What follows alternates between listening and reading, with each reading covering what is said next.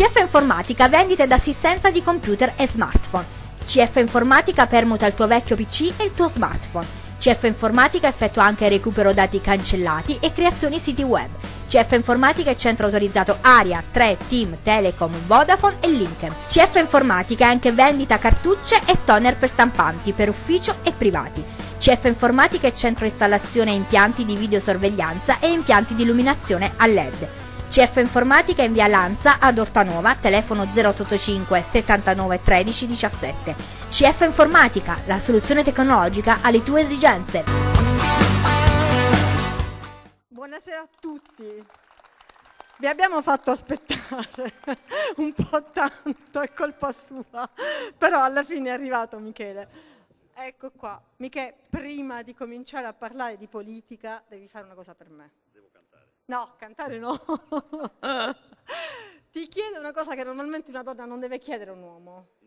No, abbracciami, perché così voglio dire, eh, facciamo, cancelliamo quelle voci, so- quella calunnia sottile sottile che va in giro che dice che io e te abbiamo litigato e che tu a me non mi puoi proprio vedere. Ah. Ma, ma come dobbiamo fare con questa donna? Eh? Beh, fatele un applauso adesso che l'ho abbracciata. Perché se le mancava qualcosa adesso ce l'ha. Mi ha abbracciato nonostante gli abbia detto di no, ma lui è autenticamente democratico, per cui va avanti, voglio dire, non si attacca queste cose al dito. Allora, Michele, noi dobbiamo fare velocemente perché sono le otto, dobbiamo dirti un po' di cose, ma prima che io ti dica quello che ho da dirti, ebbene, voglio dire, qua c'è Antonello Maffione, che è il segretario dei giovani democratici di Ortanova e che ha appena 19 anni. Pensa, lui ha cominciato a fare politica dopo il mio comizio del 12 gennaio. Quindi è un neofita, è animato da tanta passione, da tanta volontà, adesso è emozionatissimo perché è al tuo cospetto e ha da dirti due cosette per cui voglio dire Antonello, fatti avanti. Grazie. Buonasera a tutti i cittadini e cittadine di Ortanova e anche diciamo, ospiti degli altri paesi dei Cinque Reali City. Sono Antonio Maffio, innanzitutto un caloroso benvenuto al nostro candidato presidente della Regione Puglia, il dottor Michele Emiliano. Sono veramente emozionato perché mi trovo al cospetto di due colossi della politica, veramente per un ventenne come me è veramente una, grandissima emozione, devo essere sincero. Io sono il segretario dei giovani democratici, di Ortanova e siamo poco più che ventenni, chi di più, chi di meno. Siamo giovani, abbiamo la passione, un fuoco che arde in noi, che è quello di cambiare il nostro paese nel nostro piccolo.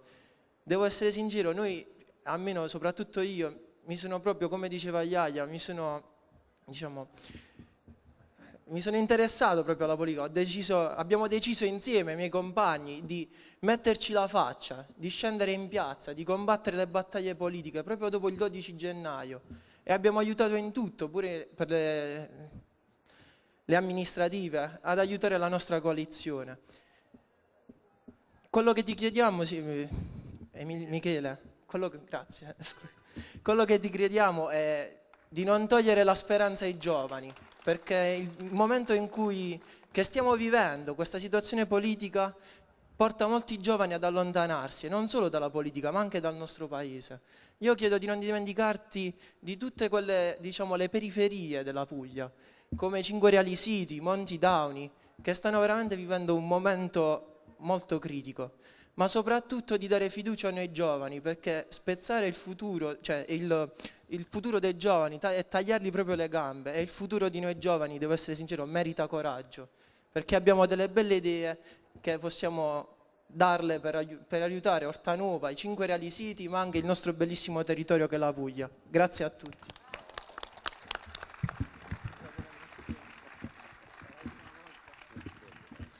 Beh, Antonello, bravo, va, ti sei diciamo alleggerito, sei più tranquillo. Allora, Michele, dieci minuti devo parlare, perché ho da diciamo, chiederti delle cose, non per me, per la Puglia e per questo territorio. E voglio cominciare dicendo che leggevo qualche giorno fa una frase di Alcide De Gasperi che diceva che la differenza che esiste tra chi fa la politica per professione e chi invece è statista sta in un fatto. I primi, quelli che fanno la politica per professione, pensano alle prossime elezioni. I secondi, gli statisti, pensano alle prossime generazioni. Io ti chiedo di essere statista.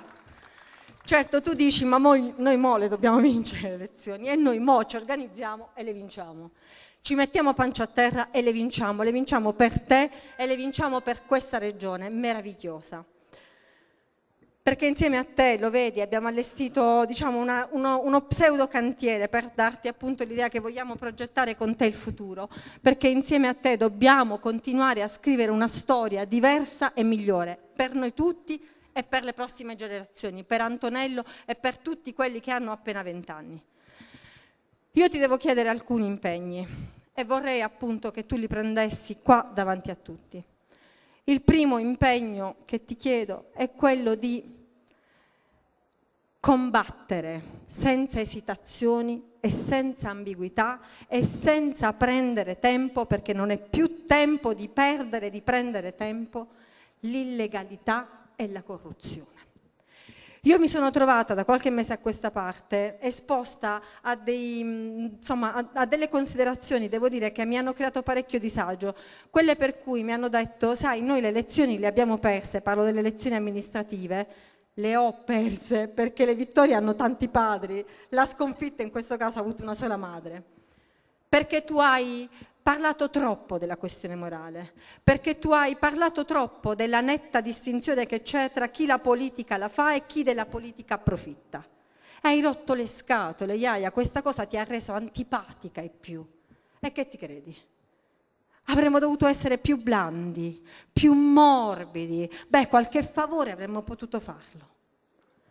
Beh, io Michele ti dico, che non ritengo assolutamente quando mi dicono ma chi ti credi di essere, pensi di essere quella che detiene in, via esclusiva l'appalto della legalità. No, niente affatto, io sono convinta che in questa città e in tutta l'Italia ci sono un mucchio di persone per bene che lavorano onestamente senza aspettare né medaglie né aiutini né di conoscere il potente di turno per chiedere favori.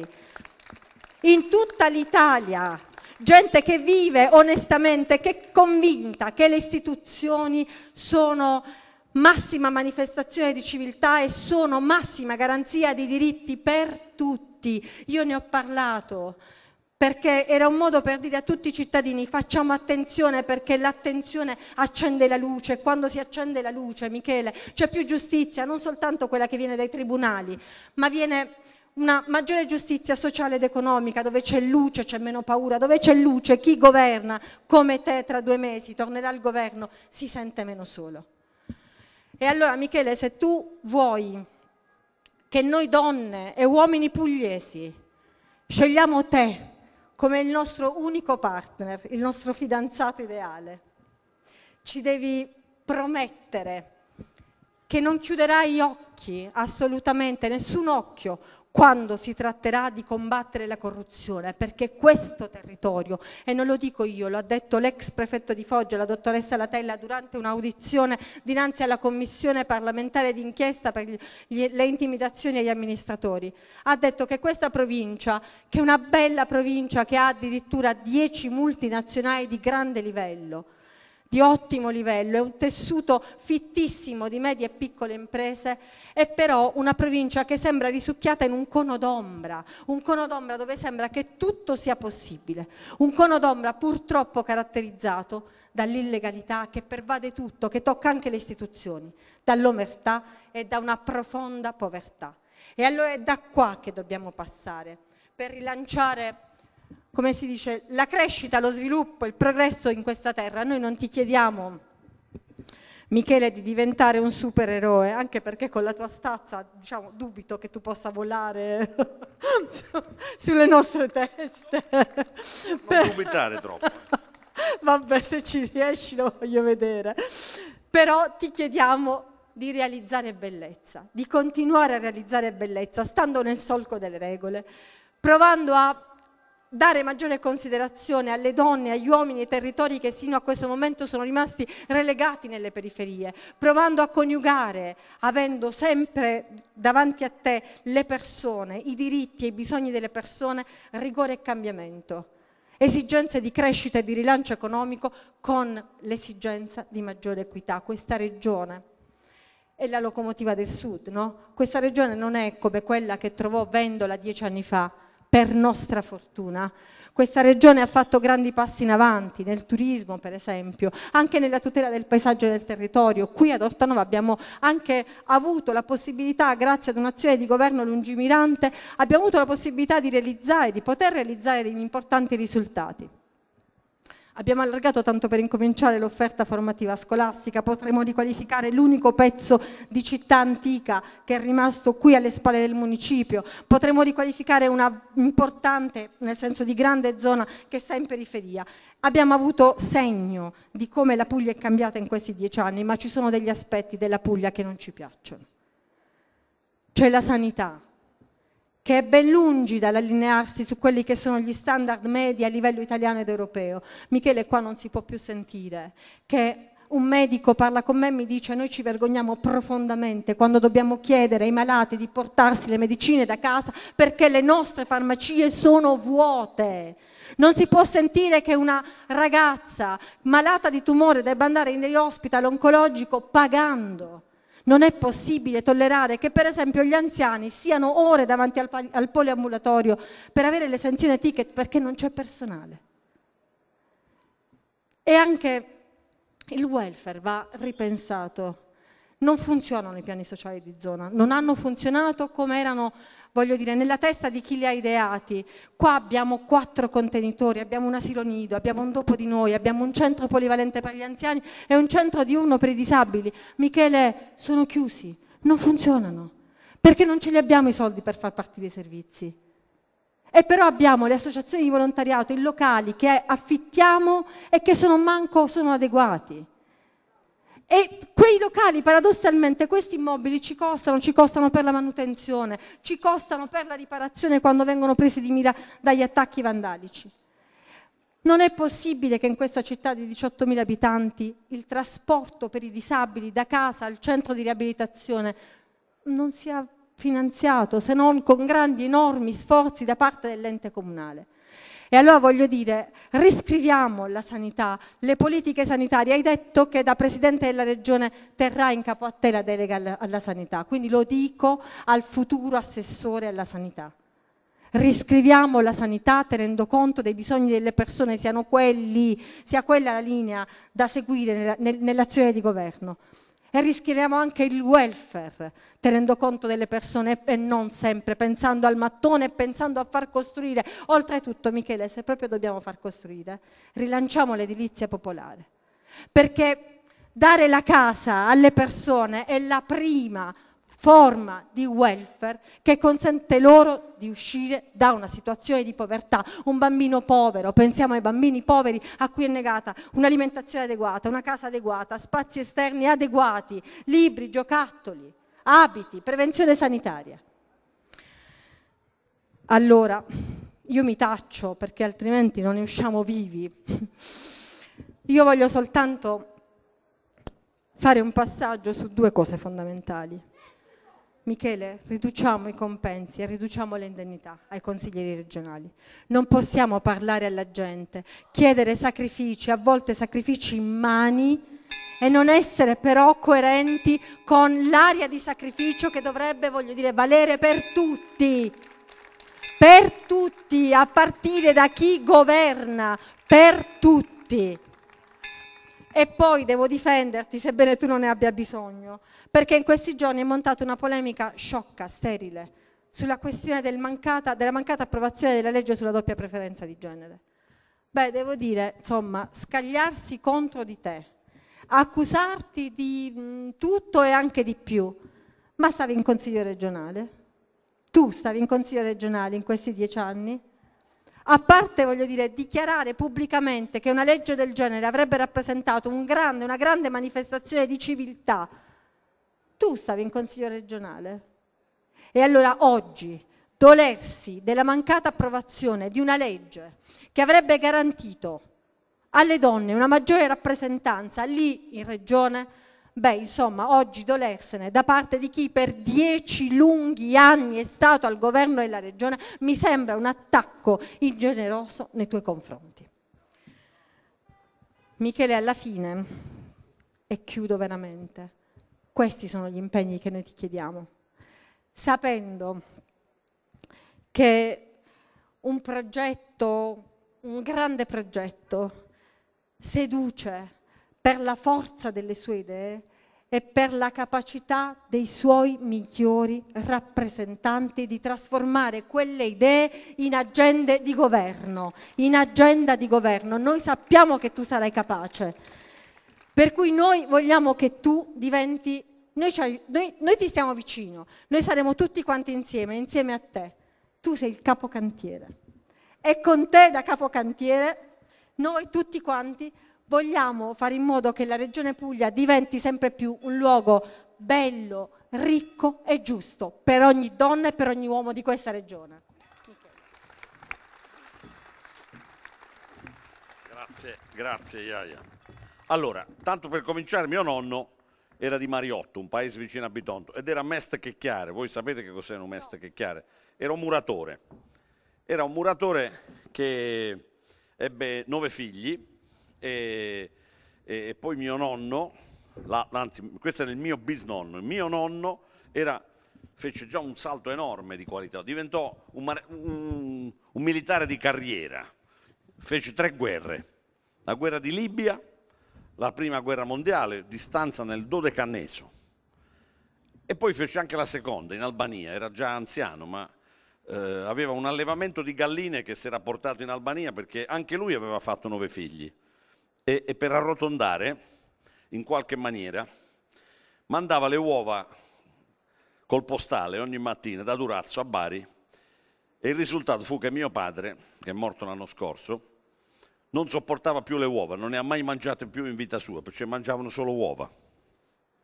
Quindi quando voi parlate con me e quando parlate eh, con l'esperienza della mia vita, io ho vissuto esperienze a due anni e mezzo era a Bologna, emigrato con mio padre che aveva trovato un bel lavoro a Bologna e, e, e le mie scuole, le prime scuole, le ho fatte in una città dove la gente non parlava il mio dialetto. A casa mia c'erano i 15, ve le ricordate quell'enciclopedia? E c'erano i quattro volumi dell'enciclopedia breve della Curcio, non c'era nient'altro. Mio padre risparmiava pure sull'acquisto del giornale che leggeva al bar. E dopodiché, grazie alla scuola pubblica, grazie alla mia maestra, si chiamava Laura Brasolini, era di Padova. Io stavo a Bologna e non mi accorsi che ero un terrone io, perché venivo trattato come tutti gli altri bambini. Poi arrivai a Bari e il mio maestro si chiamava Gilberto Gissi, era un ex paracadutista della Folgore, non era proprio di sinistra, eh?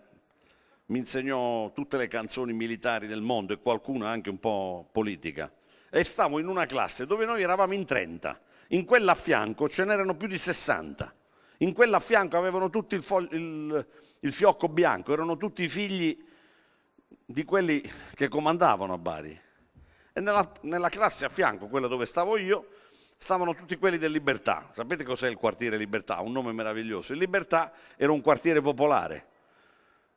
Cinque o sei di quelli sono finiti in galera, quelli della classe mia.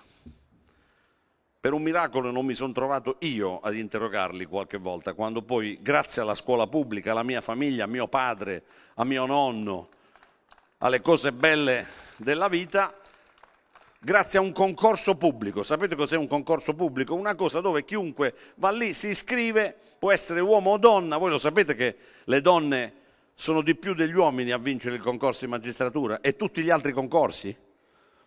No, sono più intelligenti, non lo so, sicuramente studiano di più e sanno fare i concorsi, poi eh, questo non, non, ve lo so dire, ma grazie a un concorso pubblico io cominci- ho cominciato a fare un lavoro che non credevo di, di dover fare, perché a casa mia l'idea che qualcuno di noi facesse il magistrato sembrava una cosa irrealizzabile, sembrava una cosa che non spettava a noi. Ancora oggi, quando facciamo le riunioni di famiglia, e i miei figli ovviamente che sono stati figli fortunati perché il papà era magistrato, poi ha fatto il sindaco.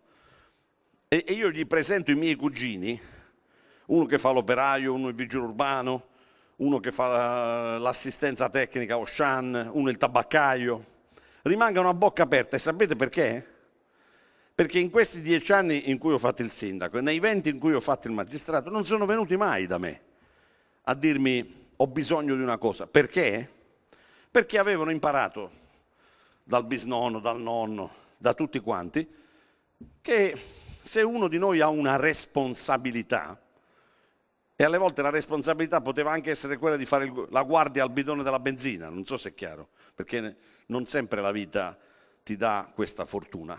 Avevi l'obbligo di rispettare le regole, di rispettarle fino in fondo, di rispettarle anche con umanità, perché una delle cose che ho imparato a casa mia è anche quella che la vita è dura, e anche spietata alle volte, è che bisogna avere la capacità di esprimere un concetto che con una parola difficile si chiama solidarietà e che con una parola più facile significa amicizia, significa prendere atto che attraverso i gesti quotidiani si può rendere la vita degli altri migliore e avevi un risultato stupefacente, improvviso, che alle volte stupisce, perché rendi automaticamente migliore anche la tua vita.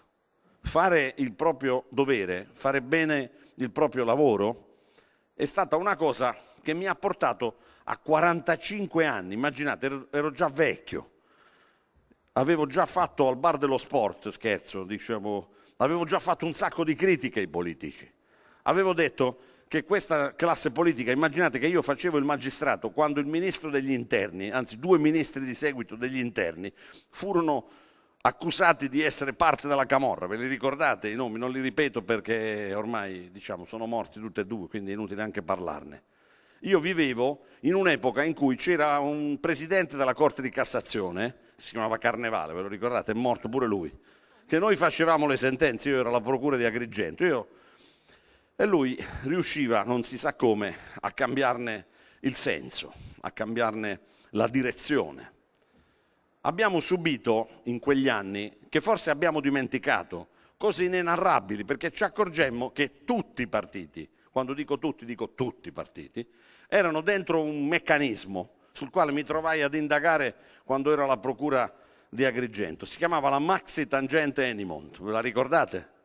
Sapete che cos'era? Si accorsero, dovendo fondere il più grande gruppo privato della chimica e il più grande gruppo pubblico della chimica, si accorsero che l'operazione di fusione dava, eh, provocava la necessità di pagare un'imposta così grande da rendere questa operazione difficile e in maniera geniale studiarono tutti i partiti di abbassare questa tassazione al fine di favorire la fusione e come premio, furono stabiliti tutti i soldi che bisognava dare a tutti i partiti. L'Italia era diventato un posto dove le tangenti si pagavano in maniera sistematica, organizzata. E io mi trovavo a essere a 32 anni alla procura di Brindisi, perché dalla procura di Agrigento arrivai alla procura di Brindisi, dove nel frattempo non c'era solo la maxi tangente Enimont, c'era pure la Sacra Corona Unita. E gli avvocati che difendevano i politici, erano gli stessi avvocati che difendevano i mafiosi e allora si guadagnavano un sacco di soldi. Sì, perché i mafiosi avevano i soldi in tasca. Adesso non, è, non ne hanno, stanno tutti al nord, forse dietro all'Expo, dietro a mille altre cose. E poi mi accorsi, arrivato a Bari, perché ero convinto, guarda un po' l'ingenuità, ero convinto che la mafia a Bari non c'era. Quando invece, invece arrivai alla procura di Bari, mi accorsi che non solo la mafia c'era a Bari, perché sta dappertutto, sta dalla Valle d'Aosta alla Sicilia.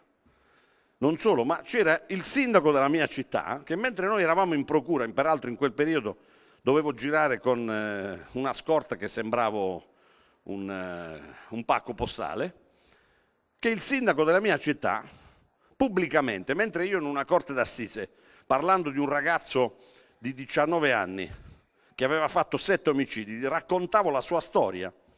Raccontavo che all'età di nove anni questo bambino era stato messo a spacciare, forse perché i servizi sociali non funzionavano, era stato messo a spacciare dalla sua stessa famiglia, dai suoi genitori, che anziché insegnargli come si pota un ulivo, come eh, si fa eh, un pacco in un negozio, come si pesano le mozzarelle in una salumeria, perché voi sapete che i bambini imparano in fretta Non ci vuole niente a fargli imparare qualche cosa, se noi solo ci dedicassimo forse un po' di più. E, e quando dissi, perché questo bambino era di Bari Vecchia, io non so se voi siete mai stati a Bari, ma Bari Vecchia è da un lato, 50 metri c'è il comune.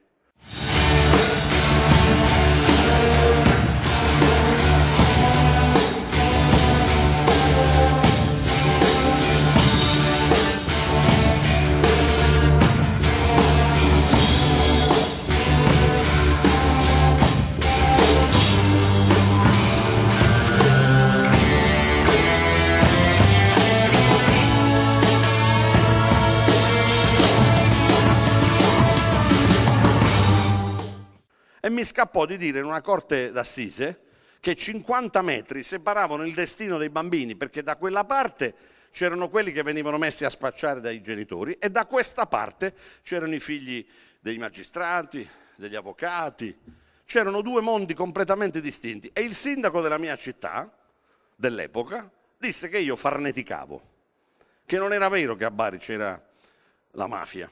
Disse anche che... Eh, uno come me non aveva capito un granché della città, non aveva il senso delle cose che avvenivano. E io ovviamente non potevo rispondere. Sapete che significa non poter rispondere a uno che ti parla così?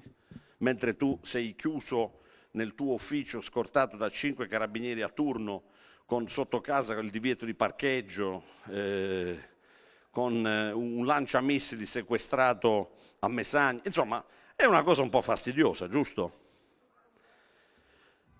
Successe poi eh, l'imponderabile, e cioè che questa città, Bari, che sembrava una città irredimibile, ve la ricordate? Non si poteva entrare a Bari Vecchio, pigliavano le macchine della polizia e le mettevano a capa sotto e poi saltavano sopra.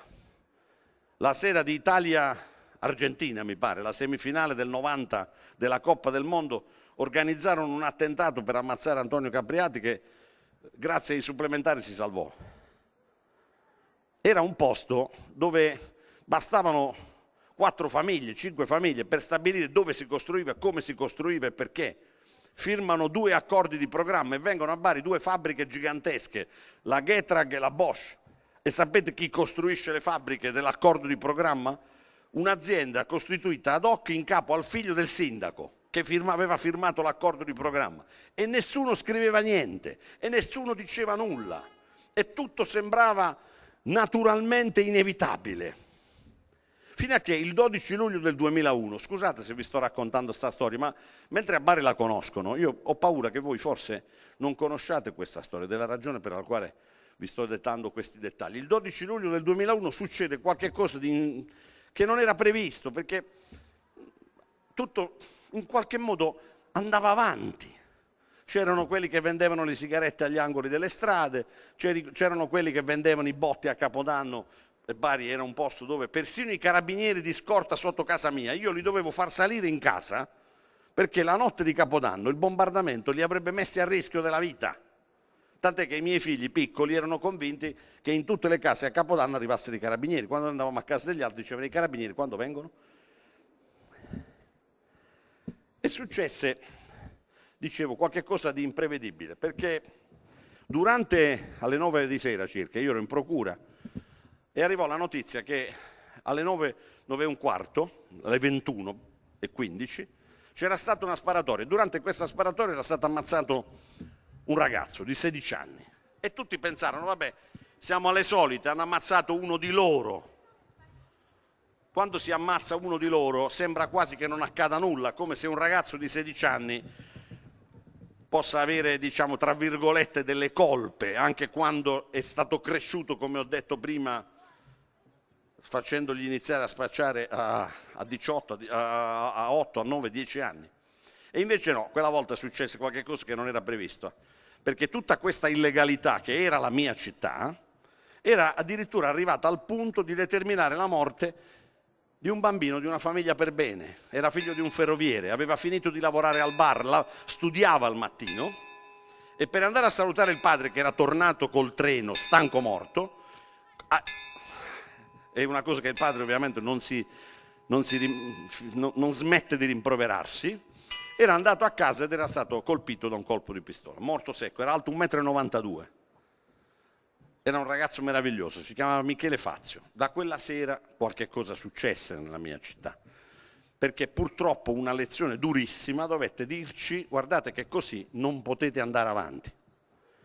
Mi sono chiesto quella sera, poi ovviamente passammo diversi anni in una guerra giudiziaria senza precedenti, arrestammo centinaia di persone e mi chiedevo tra me e me, ma se, se non fosse morto quel ragazzo, avremmo fino in fondo capito? Ed è possibile che tutte le volte dobbiamo capire le cose quando accadono fatti come questo? Non è possibile arrivarci prima, non è possibile costruire un sistema che a regime, normalmente, tiene le cose in ordine. È possibile, per esempio, comprendere che una città dove comandano 4-5 famiglie non può crescere economicamente e che quindi non crea posti di lavoro? È possibile capirlo prima? E allora una persona come me, che ripeto, non aveva alcuna intenzione di fare politica nella sua vita, quattro anni dopo questi eventi, di fronte al fatto che questa storia non si interrompeva, in una situazione che non so neanche io descrivere oggi. Io ancora oggi non vi so spiegare come è potuto accadere che io alla fine mi sia candidato a sindaco di Bari. Quel che posso dire è che assomigliava a un momento in cui, che ne so, sono diventato amico del mio migliore amico, ho conosciuto eh, la donna che amo, quei momenti in cui non puoi spiegare, non sai neanche tu che cosa ti succede e succede qualcosa di incredibile che mi porta a diventare il sindaco di Bari. Per la prima volta il centro-sinistra vince le elezioni. Bari era la capitale della destra trionfante. Una persona che voi conoscete bene, che si chiamava Pinuccio Tatarella, diceva che la Puglia era l'Emilia Nera e che Bari era la capitale di questa destra che addirittura in un progetto che si chiamava Oltre il Polo, ve lo ricordate? Doveva andare a prendere quelli di sinistra per portarli a destra perché dovevano consolidare questa egemonia, come avrebbe detto Antonio Gramsci. E di fronte a tutto questo, gli intellettuali, i partiti della sinistra, in qualche modo si accomodavano, Iaia. Si accomodavano perché sembrava quasi che fosse meglio perderle le elezioni che vincerle, perché quando le elezioni le perdi non rischi che venga fuori un rompiballe come Michele Emiliano, come Iaia Calvi o come Nichi Vendola. È difficile quando le perdi le elezioni che possano succedere delle cose del genere. È molto più facile normalizzare le cose quando vince la destra, poi ti metti d'accordo con la destra, ti fanno loro qualche lavoro sporco che ti interessa e continua così, perché il centro-sinistra in Puglia così ragionava, eh? dieci anni fa, undici anni fa, per favore questa cosa è importantissima dal punto di vista politico, perché solo quando abbiamo detto no, mi dispiace, noi facciamo un progetto per vincere le elezioni e per assumerci la responsabilità di governare. E la città di Bari lentamente, non con un uomo solo al comando, come qualcuno va dicendo, non è andata così.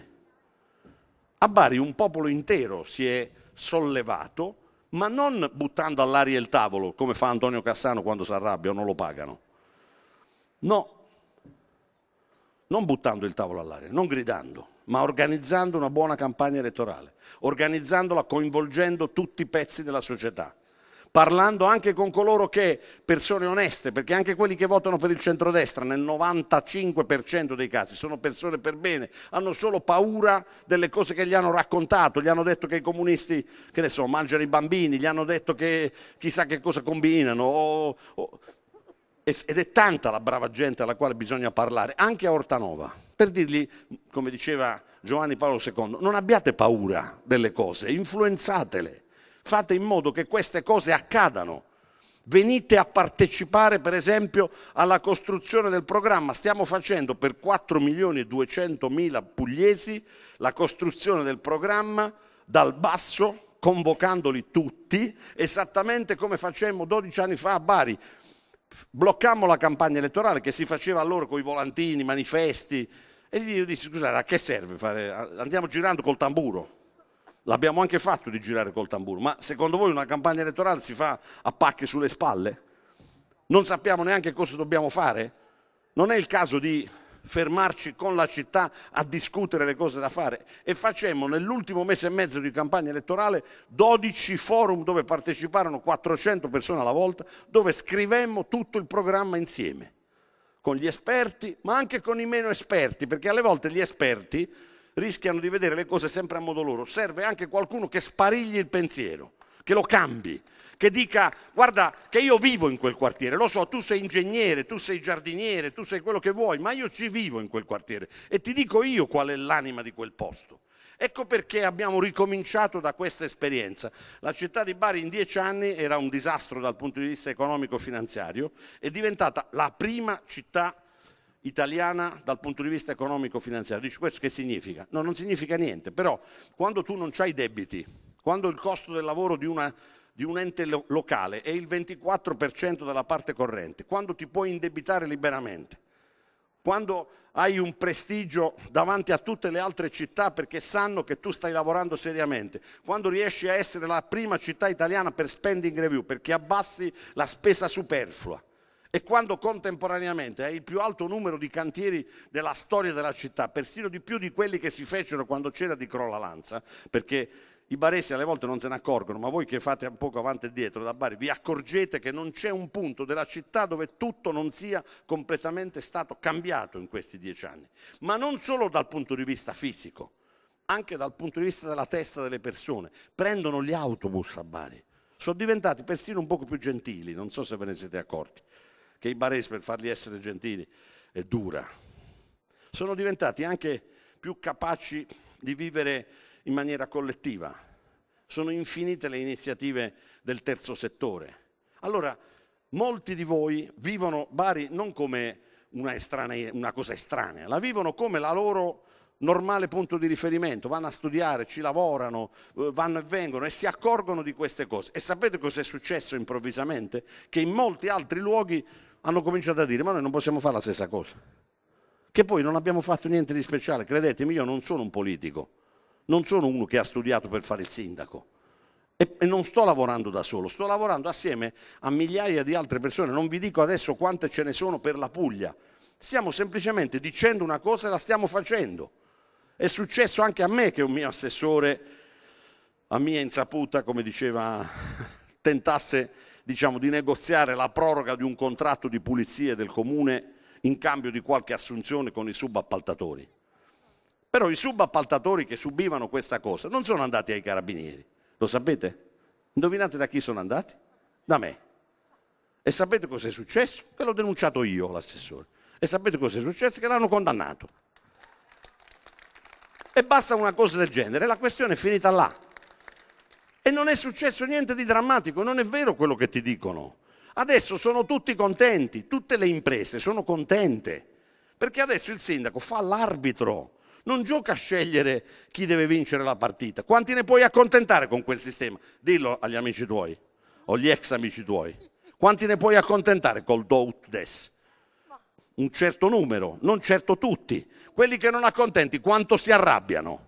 Moltissimo. E quanta economia sfuma in una concorrenza sleale perché amministrata male da chi dirige le cose. E quanti soldi possiamo risparmiare nella sanità pugliese se ci comportiamo in questa maniera e non facendo finta di niente?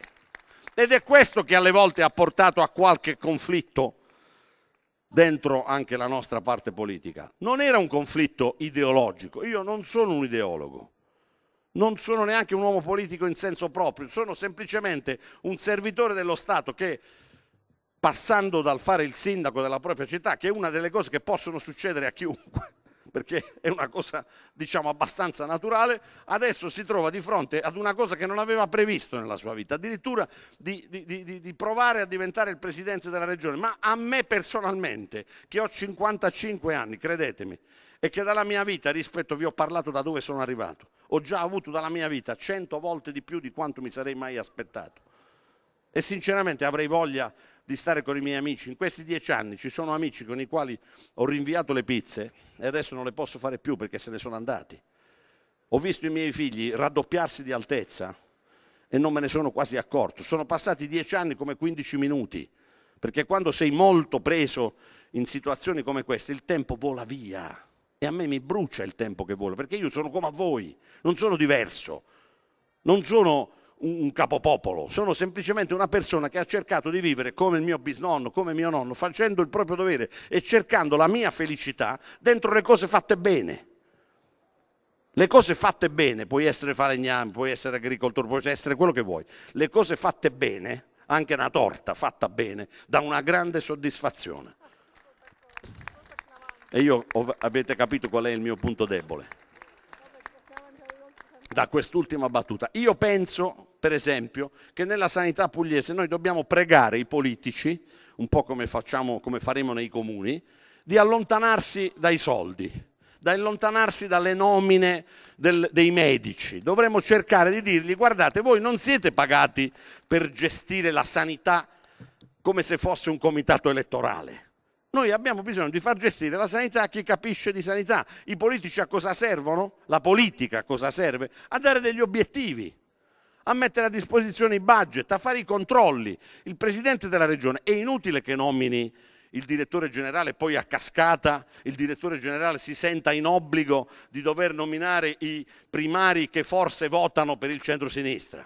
Perché questa roba fa orrore, fa vergogna, delegittima persino chi viene nominato perché delegittima il presidente che li nomina e i direttori che vengono nominati. Noi proponiamo di fare come in magistratura, non, non è perfetto il sistema, eh, intendiamoci, di fare un organismo collegiale al quale chi vuole essere nominato presenta un curriculum, quindi un consiglio, super, chiamatelo come volete, organizzato bene con i presidenti dei consigli degli ordini, dei farmacisti, dell'università, cioè, parliamoci chiaro, una giuria fissa alla quale un direttore generale presenta il suo curriculum.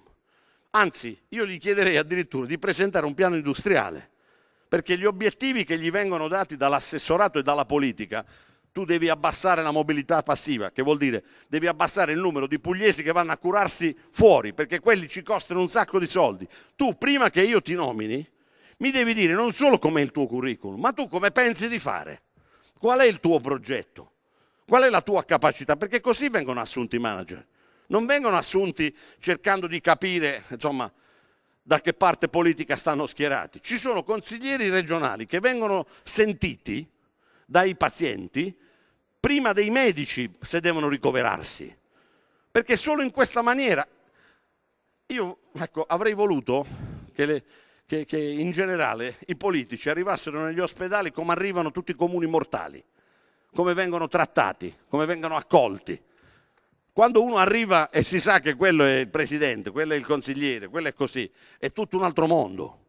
Ma quando la gente normale ti racconta i fatti, ti racconta che per avere una risonanza magnetica alla tiroide ci vogliono otto mesi, nove mesi, dieci mesi, dici ma non c'è urgenza, va bene, non c'è urgenza, ma io ho paura lo stesso perché quando un medico mi dice che mi devo fare la risonanza alla tiroide, non è che mi sta dicendo che ho l'influenza mi sta dicendo che probabilmente o che forse o, o, o, che vuole essere sicuro che io non abbia un tumore. E mi permettete che otto mesi sono troppi? È possibile immaginare cose diverse e per rendere tutto questo efficiente e, spendere meno di 7 miliardi e mezzo. La sanità pugliese costa 7 miliardi di euro e mezzo. È inutile che vi sforzate perché noi non ci possiamo riuscire a capire quante sono. Sono una somma pazzesca ed è una somma pazzesca che noi dobbiamo farci bastare, dobbiamo trovare la maniera di farcela bastare. E ci sono molte altre cose sulle quali dobbiamo intervenire. Abbiamo il ciclo dei rifiuti che non è chiuso, rischiamo di andare in emergenza ancora, perché non si sa in che modo chiudere in equilibrio il ciclo dei rifiuti. Chiudere in equilibrio il ciclo dei rifiuti che significa? Produciamo X quantitativo di rifiuti, dobbiamo sapere dove vanno a finire. E senza ipocrisie, abbiamo discariche sufficienti?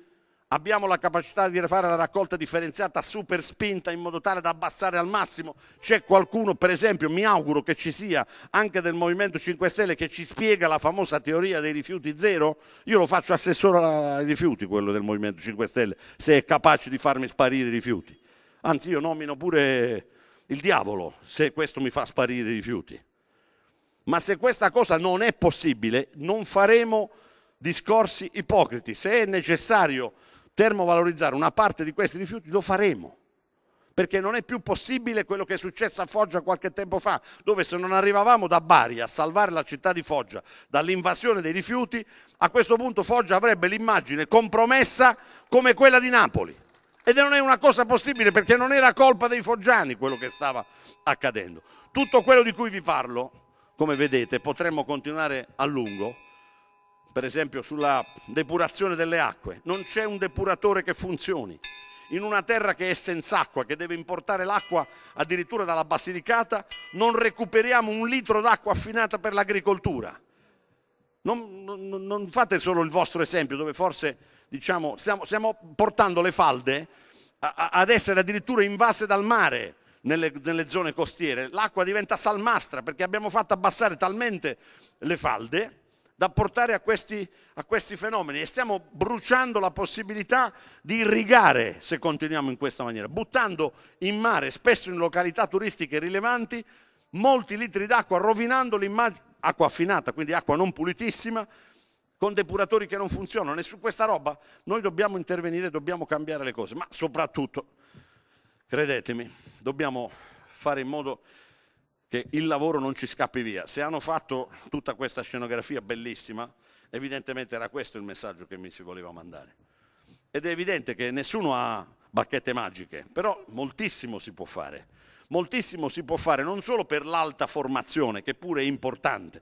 Abbiamo investito moltissimi milioni di euro per mandare all'estero a fare stage personalità, laureati d'eccellenza, master, ma non è che stanno solo i laureati d'eccellenza e i master, eh? Nelle piazze dei nostri paesi i soggetti a maggiore rischio, quelli che hanno più difficoltà e quelli che avrebbero più bisogno di essere aiutati da questo punto di vista, hanno solo bisogno di sapere posso imparare un mestiere che mi consenta di fare forte l'economia del territorio, posso sperare nel fatto che se date dei soldi ad una piccola media impresa dall'Unione Europea perché questa impresa innovi, quell'impresa che ha avuto questo grande aiuto mi assuma? È possibile fare in modo che la formazione che mi date sia corrispondente a quella delle aziende che aiutate e non invece scordinata? Si può fare? È così difficile? Io penso che si possa fare e noi dobbiamo farlo. Non cambierà la situazione dall'oggi al domani, ma certamente può cambiare le aspettative dei ragazzi con i quali dopo questo comizio mi andrò a incontrare, perché se le loro aspettative si progettano solo fuori dai luoghi dove sono nati e dove vivono, noi siamo tutti morti. Ci riempiremo ovviamente solo di persone che vengono da fuori.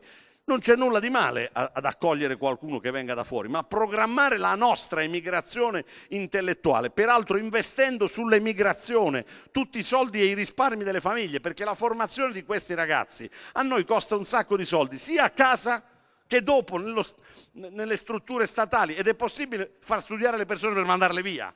Ha un senso tutto questo? È possibile trovare la maniera, visto che molti di questi ragazzi, anche quando sono e vivono in città meravigliose, non fanno altro che scrivere su Facebook che non rie...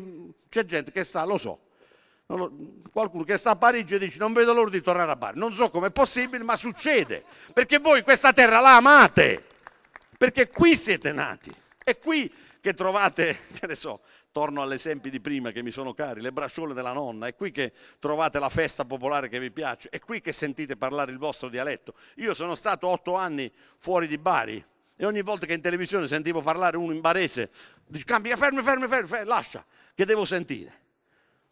Eppure non sono uno che ha pensato di sé di vivere dentro le tradizioni folk della città di Bari. Momenti non andavo manco alla festa di San Nicola. Vabbè, non potevo andare perché era un pericolo pubblico. Io se andavo alla festa di San Nicola esponevo al, politi- al pericolo tutta, tutta, la processione. Dovevo stare sempre a casa, non mi facevano andare a vedere manco le partite del Bari. Solo a un certo punto sono potuto andare. Ecco, io penso che questa campagna elettorale alla quale stiamo eh, lavorando, che stiamo facendo con grande entusiasmo, con grande serietà, senza proclami roboanti. Non ce n'è bisogno, anche perché la gente non, più, non ci crederebbe neanche più.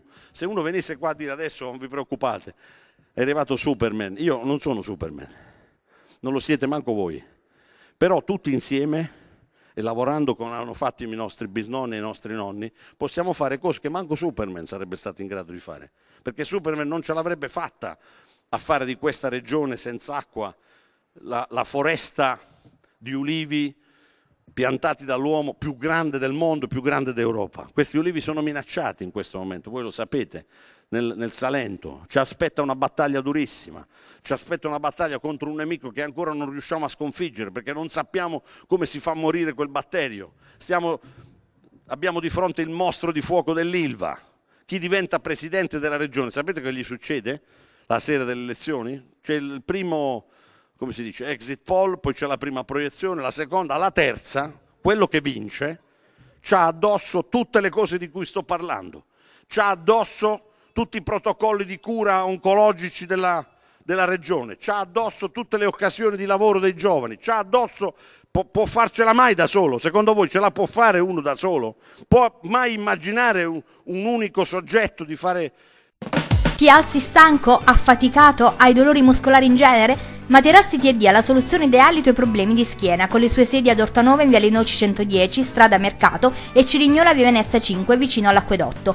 TD vi invita a provare il materasso giusto per le vostre esigenze, ampia gamma su tutti i tipi di materassi, memory, lattice, poliuretano, molle insacchettate, molle Bonel e tanti altri modelli. Ampia gamma sulle reti a doghe per un sano e corretto riposo.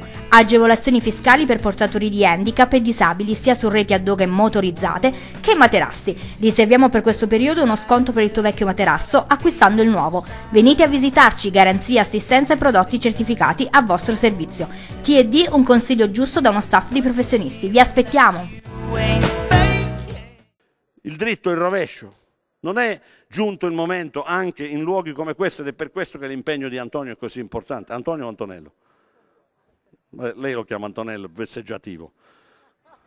E ecco perché è importante quello che ha detto Antonio, perché noi abbiamo bisogno di costruire sul territorio, dentro il partito, anche fuori, perché noi ah, del Partito Democratico siamo, ci teniamo talmente che la gente partecipi attivamente che non ci interessa se, se, si vogliono iscrivere è meglio, se non si iscrivono non fa niente, se uno vuole rimanere nella sua associazione, vuole rimanere nel suo comitato, è libero di farlo, purché sappia che non è più possibile delegare ad un eletto il tutto, perché non ci sono uomini speciali o donne speciali. Esiste solo una comunità, come hanno fatto i nostri avi, solo una comunità che riesce a strappare la terra alle pietre, che riesce a irrigare e a costruire la più potente regione agricola d'Italia, perché questo noi siamo, dal nulla, senza neanche avere l'acqua con cui irrigare hanno fatto tutto questo. E noi ce lo siamo trovato in regalo, come ci siamo trovati in regalo città meravigliose, bellissime, dove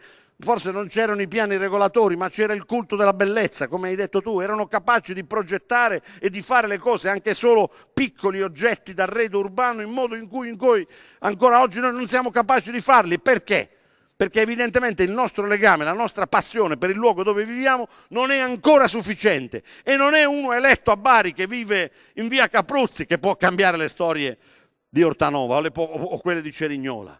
Noi abbiamo bisogno di costruire questa grande rete umana, una grande rete umana che sarà incarnata in una legge sulla partecipazione attiva, che è la prima cosa che dobbiamo fare, che consenta ai cittadini della provincia di Foggia di gestire il loro destino, dialogando con il Presidente, con la Giunta, come non è mai accaduto prima. Noi non dobbiamo eleggere un re, un sovrano, dobbiamo eleggere, l'ho detto sul giornale, i miei esperti di comunicazione dicono che non lo devo dire, ma io lo dico perché è quello lo spirito col quale mi sto candidando. Noi dobbiamo eleggere un maggiordomo, quel, il vero padrone di casa, cioè quello che regola le cose ma non le influenza, quello che lascia la possibilità a ciascuno di essere com'è, ma fa in modo che tutto quadri, che tutto rientri in un'armonia, dando consigli, suggerimenti, intuendo, ma non sostituendosi alle vostre vite, in particolare a partire da un settore che è quello delle imprese agricole, innovative, quelle che volete voi, tradizionali, artigianali.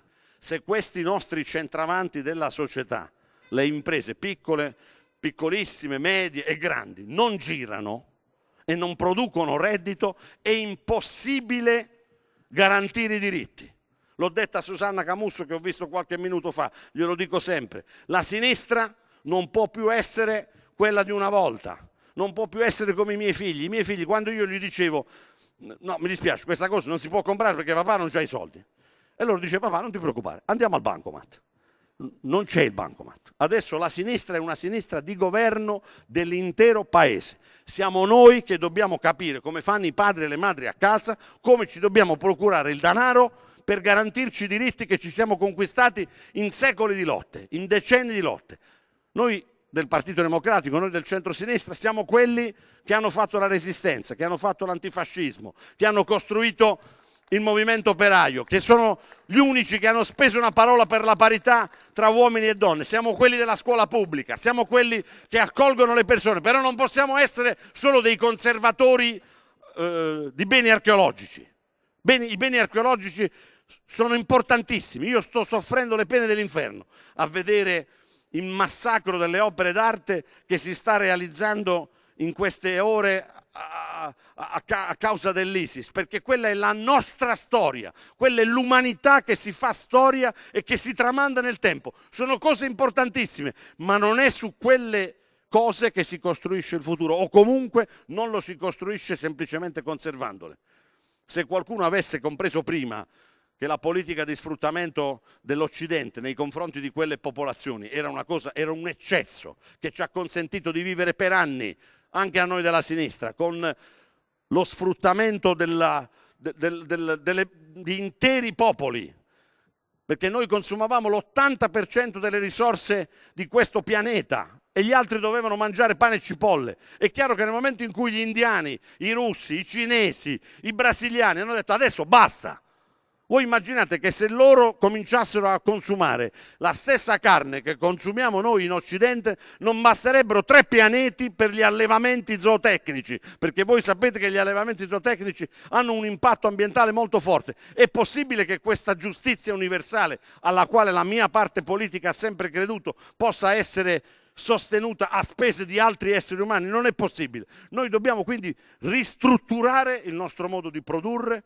il nostro modo di essere, assumendo la responsabilità delle cose, esattamente come fa un sindaco, anche quando è, è, è delicato apparentemente, come Iaia. Perché noi questa responsabilità la dobbiamo assumere e siamo in grado di farlo. Siamo in grado di farlo, secondo me, a partire dal candidato che offriamo. Il candidato è un cocomero a prova. Ve lo ricordate quando i cocomeri si vendevano a prova? Uno prima assaggiava e poi accattava. Insomma, a me mi avete testato, eh? Cioè sapete come ragiono, sapete quali sono i miei difetti, sapete quali sono le cose che so fare e quelle che non so fare. Dovete correggerli i miei difetti e dovete utilizzare le, le, mie caratteristiche migliori, come fa un allenatore. Ma non basta eleggere il presidente, dobbiamo eleggere altri candidati, dobbiamo soprattutto fare in modo che anche nei comuni, perché io conto molto sull'aiuto dei sindaci, lo slogan che utilizziamo è il sindaco di Puglia, ma non solo per fare chiacchiere, perché il Presidente della Regione ha bisogno di tutti e 258 i sindaci e le migliaia di amministratori locali per tradurre le sue politiche sul territorio. Altrimenti come si manifesta la regione ad Ortanova se non ha una, un collegamento con l'amministrazione eh, comunale? Come si fa a incidere? A questi sindaci bisogna dare un potere anche nell'organizzazione sanitaria. Sono loro quelli che conoscono gli utenti del sistema sanitario regionale e sono loro che devono dare una impostazione all'organizzazione sanitaria. Tutto questo che sto dicendo non sono bolle sono banalità come voi vedete, ma il, sto per dire una parolaccia, ma l'accidente vuole che queste banalità che racconto su ogni piazza sembrano delle rivoluzioni.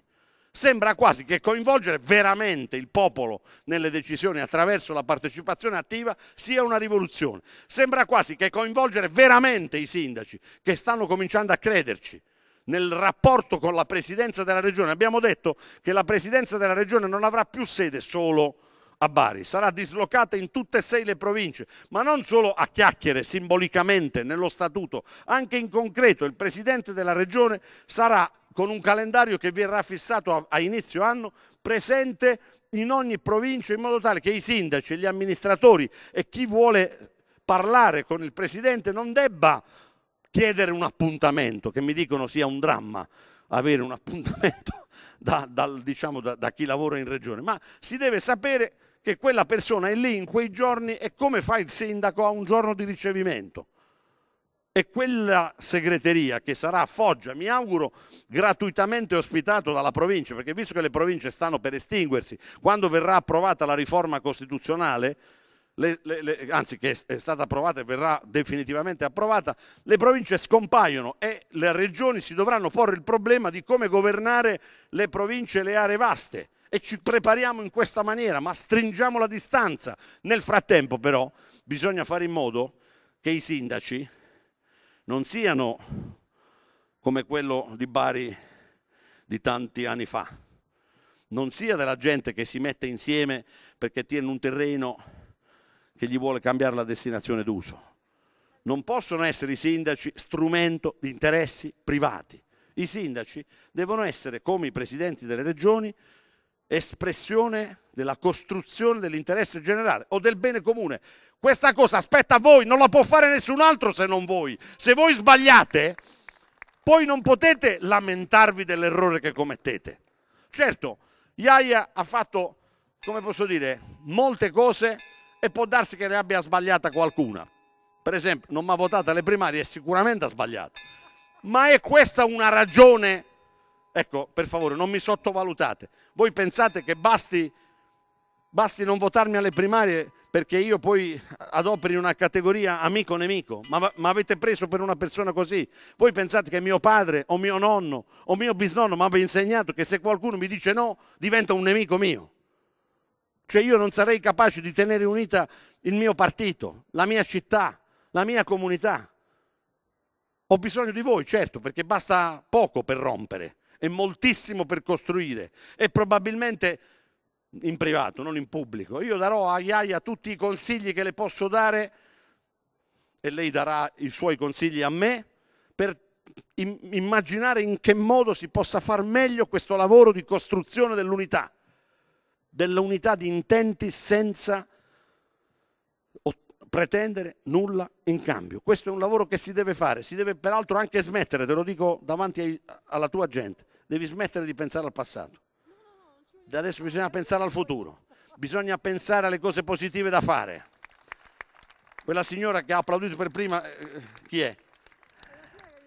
Che ti vuole bene, evidentemente, e ha colto subito la necessità, perché la politica non può essere retrospettiva, lo so, la retrospezione è una cosa bellissima, si possono scrivere i romanzi, si possono fare i film, ma non si può fare la politica. La politica deve conoscere la storia, ma non la deve guardare troppo a lungo perché deve progettare il futuro. La politica è progettazione del futuro, una progettazione coerente, una progettazione condivisa, una progettazione che cambia le cose. Ho capito, avete freddo. E io termino qui. Vi ringrazio per avermi atteso, vi ringrazio per avermi ascoltato, vi ringrazio soprattutto per aver ascoltato attentamente un discorso di un uomo normale che per avventura, credetemi, rischia di diventare presidente della regione Puglia e se questa cosa si dovesse verificare, per favore non lasciatemi solo, ho bisogno di voi, ho bisogno della comunità di Ortanova. Grazie di cuore.